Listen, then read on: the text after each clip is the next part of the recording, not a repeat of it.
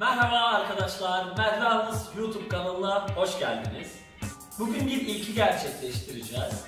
Birçok insan Merdanız tesislerinde e, burada hizmet alıp sağlıklarını daha iyi bir noktaya geliştirmek, e, işte fizyolojik rahatsızlıklarını iyileştirmek ve vücudunu geliştirmek için buralara geliyor. Ama aldığımız yoğun talepler bize ulaşamayan insanlara da faydalı içerikler girmek adına e, videolar çekmemize sebep oldu. Bunu tetikledi.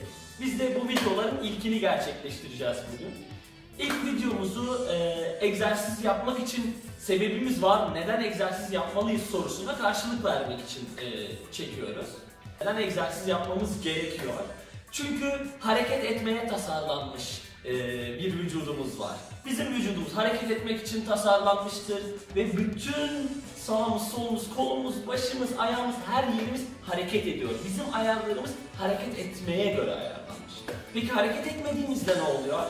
Hareket etmediğimizde kas kaybediyoruz.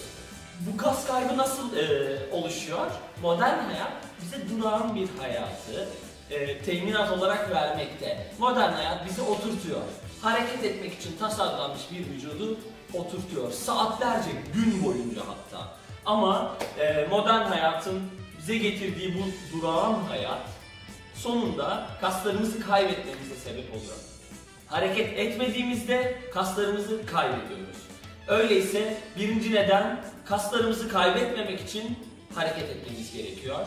Ee, masa başında oturan insanlara önerilerimiz masa başında otururken yarım saatte bir hareket edin, çayınızı kendiniz doldurun, bir kat aşağı, bir kat yukarı, telefon görüşmenizi dışarıda yapın, fark etmez. Hareket etmeye devam edin.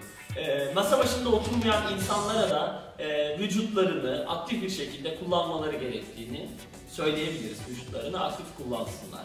Hareket ettiğimiz zaman kaslarımızın kaybolmasını 25-30 yaşlarına kadar engelliyoruz. 25-30 yaşlarından sonra yaşlanmaya bağlı bir kas kaybı sizi bekliyor. Onun için de çok aktif bir şekilde egzersiz yapmanız gerekiyor. Bununla ilgili ayrıntılı bir bilgi almak istiyorsanız Medveanız tesislerine gelin. Soru sormak istiyorsanız yorumlara iletebilirsiniz. Videoyu beğendiyseniz beğene tıklamayı unutmayın. Bir sonraki videoda egzersiz içeriklerinin neler olması gerektiğini anlatacağım. Bugünlük böyle bir başlangıç yapacağız. Devamını siz şekillendirebilirsiniz.